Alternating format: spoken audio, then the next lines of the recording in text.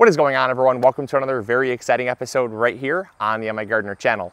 I am so excited for today's episode because it's not gonna be a long one, but I think it's gonna help a lot of you out, particularly those that are really struggling on telling when it's time to harvest your winter squash. Now winter squash can be kind of tricky, but once you know when to harvest, it's actually really simple. And that's what we're gonna cover in today's episode. Now, winter squash differ from summer squash in that they have a much harder skin on the outside. And I know that's obviously kind of, that's kind of your entry level knowledge that summer squash are summer squash because they're meant to be eaten fresh, early and young when the squash are still uh, you know, very small and, and tender. Compare that to winter squash. Winter squash you let just sit on the vine. They seem to just kind of sit in your garden all season long and people scratch their head and say, all right, I know these are winter squash because they're meant to be storage squash. I don't harvest them young. I don't harvest them immature, but can I leave them on too long? Is there, you know, is there a way I can tell when they're ready? Are they done at a certain point? Just help me out here. So that's what we're gonna cover in today's episode because they are a little tricky and there are some nuance to winter squash, but like I said, once you understand how to harvest them and the signs to look for, they're very, very simple. I like to compare winter squash and summer squash to cheeses. So a soft cheese is like a summer squash. They don't have a very hard skin. They are soft, they're very tender. They rot very quickly. Therefore, they need to be consumed very quickly. Compare that to a hard cheese. Hard cheeses have a skin and that skin protects them from things like mold and aging so you can keep them much longer. Hard cheeses are like winter squash. Winter squash have a hard skin that protects them from things like dehydration, pests, mold and rot and whatnot, so they can last a whole lot longer as well. So when you look at cheeses, if you know cheese, if you don't know cheese, well then we're just on a wild tangent. But having this base level knowledge, well, it'll help you with your cheese knowledge too. But, but in order to, uh, to preserve a cheese long enough to have it be a hard cheese, you have to let it build its skin. Much like winter squash, you have to be able to build its skin. So knowing this, the longer you leave them on the vine, the harder the skin will get. All right, so I have some butternut squash here, and uh, I just picked these about a week ago, and that's actually what prompted this video, was when I was harvesting them, a bunch of people started commenting saying that they had no clue to uh, how to tell when their squash are ready, and so I said, you know what, that'd be a good quick video. So I do read the comments, believe it or not. I do read the comments on every single video. So when in doubt, if, uh, if you're confused about something, throw in the comments box. You never know, I might film a video on it. So um, like this one. Uh, so I've got this butternut squash here, and the first thing I look for is a slight color change.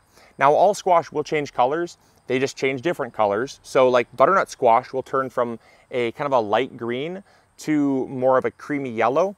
And then in their final phase of ripeness, they'll kind of get like a dusty white color to the exterior of the, of, of the skin. That's just how I can tell when butternut squash are ripe. But you know, acorn squash obviously uh, like are like a greenish blue. Um, golden Hubbard squash turn orange. Uh, blue Hubbard squash turn blue. So they will all kind of change certain colors. You just need to know what color they should be when they're when they're uh, fully mature, and that's kind of when you can start doing a fingernail check. Now, once they start to turn color, I will begin doing a fingernail check. This will not affect the shelf life of the squash. This is just a great way for me to tell the hardness of the skin. Remember going back to the cheese analogy, I want there to be a hard enough skin to protect this long term. I don't want to bring this in and instantly have it go soft and mushy and, uh, and start to mold on me. The harder the skin, the, uh, the longer the shelf life. So what I'll do is I'll simply pull up a squash that I think is a prime candidate for a fingernail check, and I'll simply take my thumbnail and I'll just press it in. Now you should not be able to press into the skin. If the skin actually, uh, if, you, if your thumbnail breaks the skin, it's not ready yet. What you want is you want your thumbnail to just leave a mark. So I've got a couple here that are, are at varying stages of ripeness. The whole vine died on me, so if they were ripe, they were ripe. If they weren't, they weren't. Kind of one of those things. Uh, we had some, a lot of rain and it brought on some early powdery mildew. So I said, you know what? Hey, the plants are done no matter what. So I pulled them all up. Um, and so, yeah, so I did a fingernail check on, on quite a few of these here. And uh, this one here passes the fingernail check with flying colors. So this one, you'll notice, I'll take my finger, I'll push in, and I cannot break the skin. I mean, if I push super hard, yes, but with basically what I like to do is if you can tell, hopefully you can see this, my fingernail will go, it's normally underneath the nail, you can kind of tell your fingernails should be kind of a pink color if they're healthy. I'll push hard. When my whole nail turns white, that's basically pushing all the blood from underneath my, my thumbnail. When my thumbnail goes white, from all the blood being pushed away from the pressure, I know I'm pressing hard enough. hopefully you can see that. White, and my thumbnail did not puncture the skin. My, th my thumbnail goes white from the pressure. My thumbnail did not puncture. Compare that to this squash here, which I actually did on video, and it punctures very easily. See that? My thumbnail goes white, and that one's kind of hard right there, but up here, closer to the stem end, it punctures very easily. You can see these spots here. This, uh, this squash is not fully cured yet. Yes, it is starting to turn color, but it's not fully mature. And so you can kind of see that part's, that part's fully cured. That part's fully cured.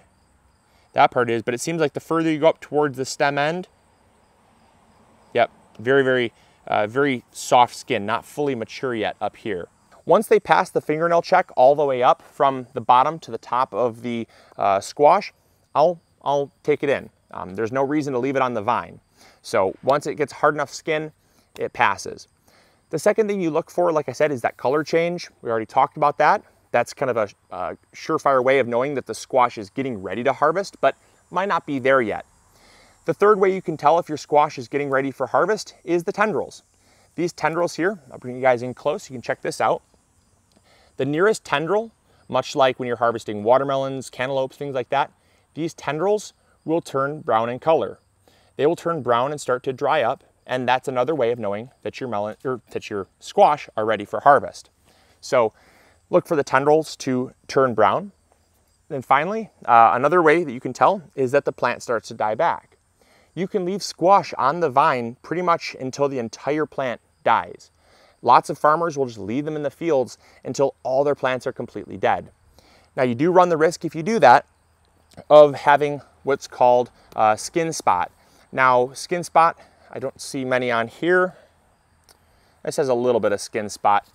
So this, uh, this kind of rusty colored spot here is skin spot. It can happen, it's a fungus that actually will, uh, will try to eat away at some of the skin uh, on, the, on the squash.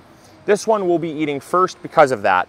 But you know, you do run the risk of getting some skin spot because when the plants completely die back, that's usually a sign that it's very late in the season. Uh, you know, skin spot is also very similar to things like powdery mildew and blight. So it's a, a very similar fungus.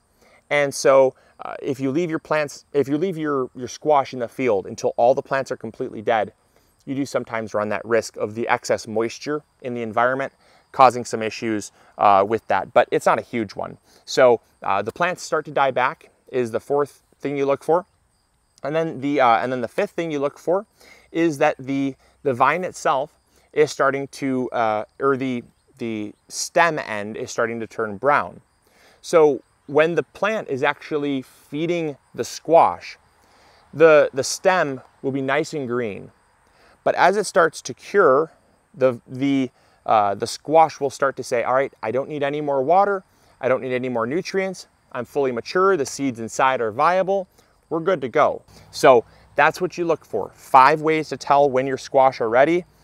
The colors to change, your thumbnails don't puncture through with you know moderate pressure. Uh, the stems turn brown, the tendrils turn brown and dry, and the plants completely die back or start to die back, uh, start to die back is when you can tell that your squash are ready to harvest. So I hope this really helps. I know that um, you know it's a shorter video, but uh, you know it's one of those things that I think really will help a lot of you guys out if you've never grown squash before, winter squash before. So I hope you guys enjoyed. Hopefully you learned something new, and uh, we'll catch you all on the next episode. All right, grow big home, everyone. Bye.